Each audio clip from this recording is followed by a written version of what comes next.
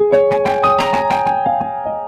வணக்கம். ஒரு கம்பெனியை நம்ம அனலைஸ் பண்ணும்போது நிறைய பேராமீட்டர்ஸ் எல்லாம் வச்சு நம்ம அனலைஸ் பண்ணுவோம். அப்படி ஒரு பேராமீட்டராக இருக்கிற கடன் எவ்வளோ லெவலில் இருக்குது அப்படின்னு பார்க்குறது ரொம்ப ரொம்ப முக்கியமாக இருக்கும்.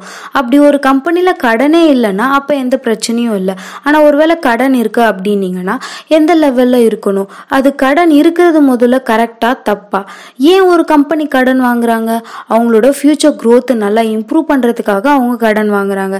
ஸோ எவ்வளோ கடன் வாங்கினா நல்லது? எவ்வளோ கடன் வாங்கினா கெட்டது? இதை பற்றி ஃபுல் டீட்டெயிலாக பார்க்கலாம். வாங்க வீடியோக்குள்ளே போகலாம் ஒரு கம்பெனி அனலைஸ் பண்ணுறதுக்கு இந்த மாதிரி நிறைய பேராமீட்டர்ஸ் எல்லாம் வச்சு நம்ம அனலைஸ் பண்ணுவோம். அப்படியெல்லாம் எந்த அனலைஸும் பண்ணாமல் டைரக்டா அந்த கம்பெனியில் போய் நம்ம இன்வெஸ்ட் பண்ணலாம். அப்படிப்பட்ட கம்பெனிஸை இந்த வீடியோவில் நான் டிஸ்கஸ் பண்ணியிருக்கேன். இந்த வீடியோட லிங்க் கீழே டிஸ்கிரிப்ஷன்ல கொடுக்குறேன். அப்புறமா போய் பாருங்க. பொதுவாக ஒரு கம்பெனியில் கடன் அதிகமாக இருக்குது அப்படின்னீங்கன்னா அப்போ அந்த கம்பெனி வந்து பேட் கம்பெனி அந்த கம்பெனியில் இன்வெஸ்ட் பண்ணக்கூடாது அப்படின்னு நினைப்போம். ஒரு கம்பெனி ஏன் கடன் வாங்குறாங்க? ஸோ அவங்க வந்து ரெண்டு வழி மூலயமா அவங்க கடன் வாங்குவாங்க. ஒன்று வந்து ஈக்விட்டி இன்னொன்று வந்து டெப்த்து ஃபார் எக்ஸாம்பிள் இப்போ ஒரு கம்பெனியோட வேர்த் வந்து டென் லேக் இருக்குது அப்படின்னு வச்சுக்கோங்க.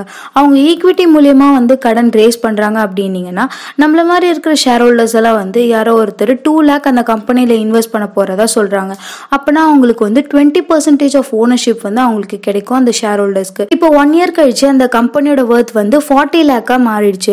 அப்போ அந்த ஷேர் ஹோல்டருக்கு வந்து எயிட் லேக் கிடைச்சிருக்கும். ஆனால் அதே டுவெண்ட்டி பர்சன்டேஜ் ஆஃப் ஓனர்ஷிப் இருந்திருக்கும்.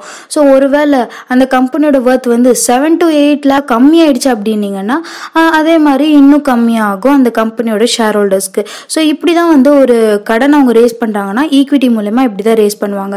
ஒருவேளை அவங்க வந்து கடன் ரேஸ் பண்ணுறதுல வந்து டெப்த் மூலியமாக ரேஸ் பண்ணுறாங்க அப்படின்னீங்கன்னா ஒன்று வந்து அவங்க பேங்க் கிட்ட போவாங்க இல்லை வந்து இன்வெஸ்டர் கிட்ட வருவாங்க. ஸோ அவங்க வாங்குற கடனுக்கு வந்து அவங்க இன்ட்ரெஸ்ட் பே பண்ணுவாங்க ஷேர்ஸை கொடுக்க மாட்டாங்க.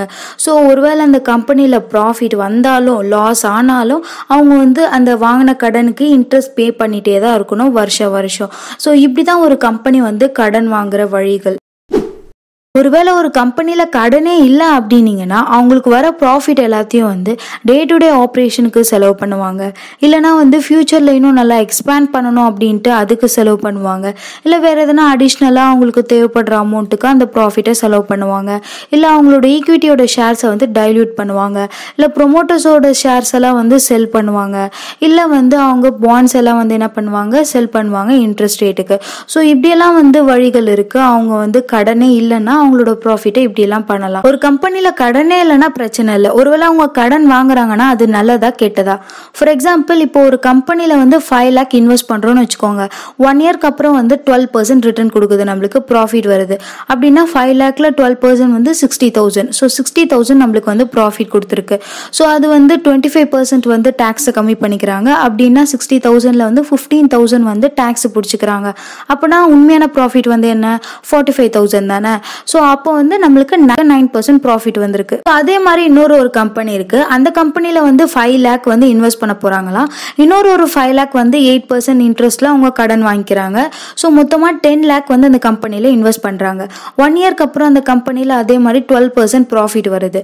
ஸோ அப்படின்னா டென் லேக்ல டுவெல் பர்சன்ட் ப்ராஃபிட்னா ஒன் லேக் டுவெண்ட்டி தௌசண்ட் வந்து அவங்களுக்கு ப்ராஃபிட் வந்திருக்கு.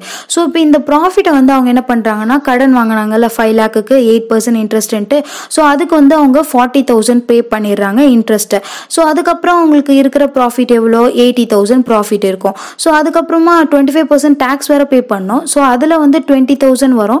டுவெண்ட்டி தௌசண்ட் திரும்பியும் அவங்க பே பண்ணிடுறாங்க டேக்ஸில் ஸோ அப்போ அவங்களோட ப்ராஃபிட் எவ்வளோ வரும்? சிக்ஸ்டி தௌசண்ட் வரும். இப்போ ஒரிஜினலாக அவங்களோட ப்ராஃபிட் வந்து சிக்ஸ்டி தௌசண்ட் இருக்குது ஸோ அப்படின்னா டுவெல் பர்சன்ட் ப்ராஃபிட் வருது. நம்ம ஃபர்ஸ்ட் கேஸில் வந்து ஃபைவ் லேக் இன்வெஸ்ட் பண்ணாங்க அந்த கம்பெனியில் நைன் பர்சன்ட் ப்ராஃபிட் கிடைச்சிது.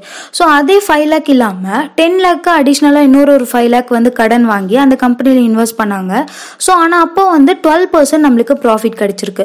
ஸோ ஒரு கம்பெனி வந்து கடன் வாங்குறாங்க அவங்களோட ப்ராஃபிட்டை நல்லா இம்ப்ரூவ் பண்ணுறதுக்கு அப்படின்னீங்கன்னா அப்போ கடன் வாங்குறது வந்து பிரச்சனை இல்லை குட்டு தான். கடன் வாங்குறது குட்டு ஆனால் கடனே வந்து ரொம்ப அதிகமாக வாங்கிட்டாங்கன்னா அவங்க அதிகமான இன்ட்ரெஸ்ட் பே பண்ண முடியாமல் அவங்களோட கம்பெனியில் இருக்கிற எல்லாமே ப்ராஃபிட் எல்லாம் லாஸ் ஆகிடும் ஸோ அதனால கடன் வந்து வாங்குறது ஈக்விட்டி விட கம்மியாக இருக்கிற மாதிரி வாங்கணும் அந்த கம்பெனி அது மட்டும் இல்லாமல் டெப்ட் டு ஈக்விட்டி ரேஷியோ வந்து லெஸ் தென் ஒன்னாக இருந்துச்சுன்னா அந்த கம்பெனி குட் கம்பெனி கடன் வாங்குறது நல்லது தான் ஒரு குறிப்பிட்ட அளவுக்கு வாங்கும் போது அந்த கம்பெனி வந்து நல்ல கம்பெனி தான். ஸோ இப்போ ரியல் லைஃப் எக்ஸாம்பிளை வச்சு நம்ம பார்ப்போம். ஸோ ஃபஸ்ட்டு கேஸில் என்னென்னா ரிலையன்ஸ் இண்டஸ்ட்ரி கம்பெனி எடுத்துப்போம். ஸோ அந்த கம்பெனியோட டெப்ட் வந்து one point three three lakh க்ரோரில் இருக்குது ஸோ டெப்ட் கிட்ட ரேஷியோ பார்த்தீங்கன்னா ஜீரோ பாயிண்ட் த்ரீ டூ அப்படின்னு இருக்குது ஸோ அவங்க வாங்கின கடன் எல்லாமே வந்து அவங்க ஜியோ இன்ஃப்ராஸ்ட்ரக்சரை நல்லா இம்ப்ரூவ் பண்ணுறதுக்காக வாங்கியிருப்பாங்க. ஸோ அது இன்னும் ஃப்யூச்சரில் நல்ல ஒரு க்ரோத் கொடுக்கும். ஸோ அதனால் இந்த கம்பெனி நம்ம பார்க்கும்போது இந்த கம்பெனியோட கடன் வந்து டெப்ட் வந்து குட் தான். ஸோ நெக்ஸ்ட் இன்னொரு ஒரு கேஸ் எடுத்துப்போம். ஸோ அந்த கேஸில் வந்து டாடா மோட்டர்ஸ் எடுத்துப்போம். ஸோ இந்த கம்பெனியோட கடன் பார்த்தீங்கன்னா எயிட்டி தௌசண்ட் க்ரோஸ் இருக்கு. ஸோ டெப்ட் ஈக்விட்டி ரேஷியோ பார்த்தீங்கன்னா டூ பாயிண்ட் ஜீரோ எயிட்ல இருக்கு. ஸோ ஈக்விட்டியை விட கடன் வந்து ரொம்ப ரொம்ப அதிகமாக இருக்கு இந்த டாடா மோட்டார்ஸ் கம்பெனியில் ஸோ அப்படி இருக்கும் போது அவங்க இன்ட்ரெஸ்ட் வந்து அதிகமாக பே பண்ணுறதுனால அவங்களோட ப்ராஃபிட் வந்து ரொம்ப ரொம்ப கம்மியாக தான் வந்துட்டு இருக்கும். டூ தௌசண்ட் எயிட்டீன்லேருந்து பார்த்தீங்கன்னா அந்த கம்பெனியோட ப்ராஃபிட் வந்து ரொம்ப ரொம்ப லாஸில் தான் போயிட்டு இருக்கு அப்படின்னு. இப்போ தான் வந்து அவங்க கொஞ்சம் வந்து இம்ப்ரூவ் பண்ணியிருக்காங்க அவங்களோட ப்ராஃபிட்டை ஸோ இந்த ஃபர்ஸ்ட் கேஸில் வந்து ரிலையன்ஸ் இண்டஸ்ட்ரி பார்த்தோம். அந்த கம்பெனியில் இருக்கிற கடன் வந்து குட்டு ஆனால் வந்து நெக்ஸ்ட் நம்ம பார்த்தா டாடா மோட்டர்ஸ் இருக்கிற கம்பெனியோட கடன் வந்து கொஞ்சம் பேடாக இருக்கு. ஒரு கம்பெனியில் கடனே இல்லைன்னா அப்போ வந்து அந்த கம்பெனி குட்டு ஒருவேளை அந்த கம்பெனியில் கடன் இருக்கு அப்படின்னீங்கன்னா குறிப்பிட்ட அளவுக்கு அப்படின்னா குட்டு ஒருவேளை அதிகமாக இருந்துச்சுன்னா அப்போ அந்த கம்பெனி பேடு ஸோ ஒரு குறிப்பிட்ட அளவுக்கு என்ன மாதிரி இருக்கணும்னா டெப்ட் ஈக்விட்டி ரேஷியோ வந்து லெஸ் தென் ஒன்னாக இருந்துச்சுன்னா அப்படின்னா அந்த கம்பெனியில் நம்ம கண்ணை மூடிட்டு போய் இன்வெஸ்ட் பண்ணலாம்.